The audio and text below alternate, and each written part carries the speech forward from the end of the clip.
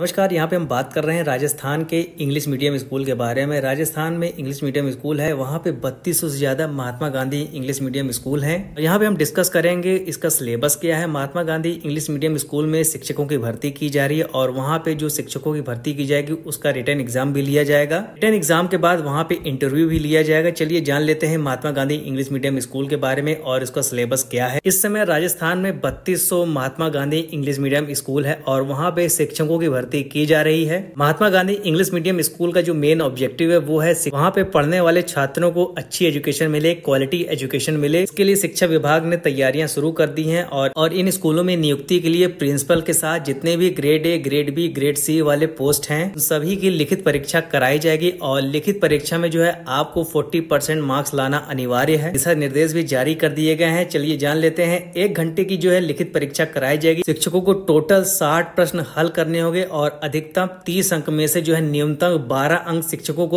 अर्जित करने अनिवार्य होंगे अगर आपके इससे कम अंक आते हैं तो शिक्षकों को जो है चयन प्रक्रिया में शामिल या फिर कहें इंक्लूड नहीं किया जाएगा जो भी कैंडिडेट लिखित परीक्षा में क्वालिफाई कर जाता है उनका इंटरव्यू होगा आपकी पोस्ट के अनुसार जो है आपका इंटरव्यू लिया जाएगा अकॉर्डिंग टू योर पोस्ट और इंटरव्यू में भी जो है आपको कम से कम बारह अंक लाने होंगे और शिक्षा विभाग ने विभाग में कार्यरत सभी शिक्षकों से जो है ऑनलाइन आवेदन मांगे हैं